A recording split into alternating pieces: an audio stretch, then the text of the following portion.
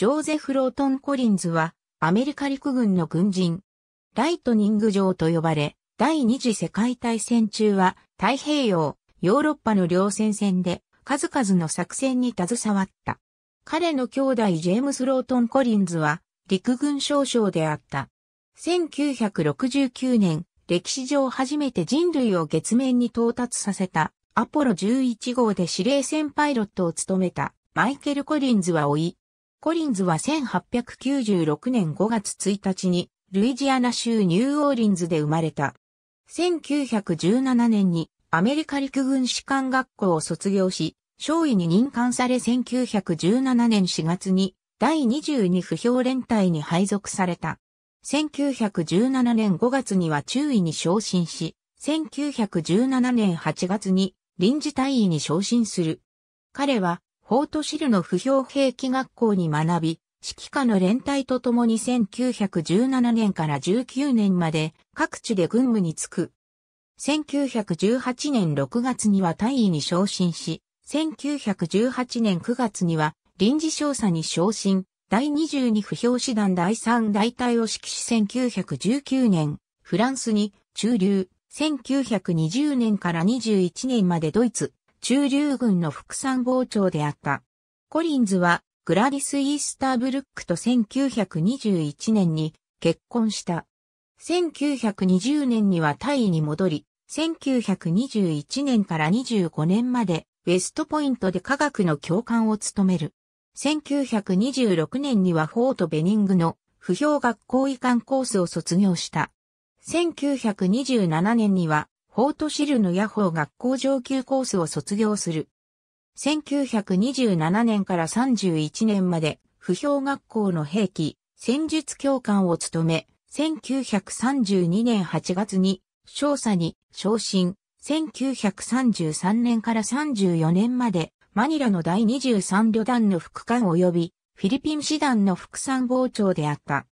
彼は1937年陸軍産業大学を卒業、1938年に陸軍戦争大学を卒業し、1938年から40年まで同大学の教官であった。1940年6月に中佐に昇進、1941年には第セブン軍団の主席補佐官であった。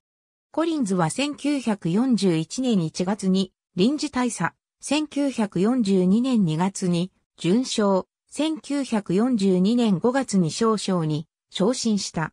彼は1941年から42年までハワイ局の参謀長及び1942年から43年までオアフ島の第25不評師団指揮官ガダルカナル島の日本軍に対する作戦を担当した。その後ヨーロッパへ転任し、1944年から45年まで第セブン軍団を指揮しノルマンディ上陸作戦からドイツの降伏まで経験した。第セブン軍団はコブラ作戦への貢献で最も知られる。しかしながら同作戦へのコリンズの貢献はそれほど知られていない。第セブン軍団は1944年から45年の戦闘全体にわたって最も重要な第一軍の努力を結集する傾向があった。コリンズはヨーロッパ戦線におけるアメリカ軍裁量の部隊長と広く考えられた。コリンズは1945年4月に臨時中将、6月に準将に昇進した。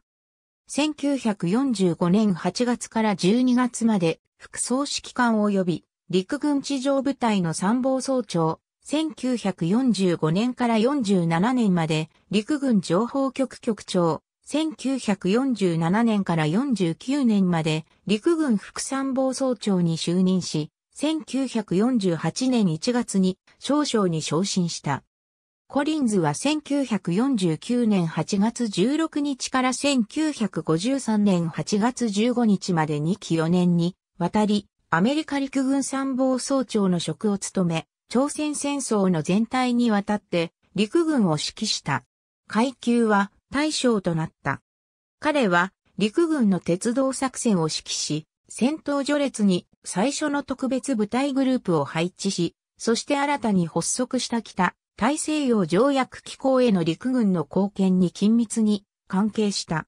彼は1953年から54年まで NATO の軍事委員会及び常設グループへのアメリカ代表であった。